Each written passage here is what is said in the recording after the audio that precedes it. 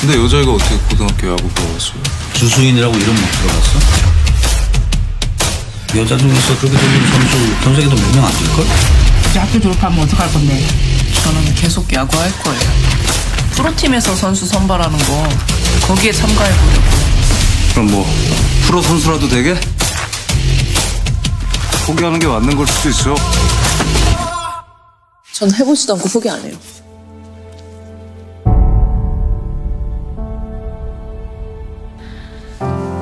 내가 만약에 진짜 잘하는 거면 그런 거면 어떡해 그럼 너무 억울하잖아 잘하는데 왜 그러고 있어?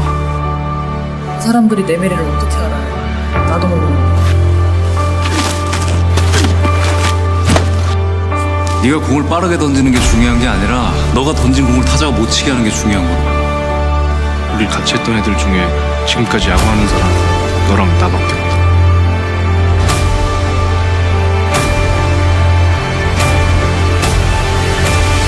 다. 야구는 누구나 다 할 수 있는 거잖아요. 그러니까 여자건 남자건 그건 장점도 단점도 아니에요.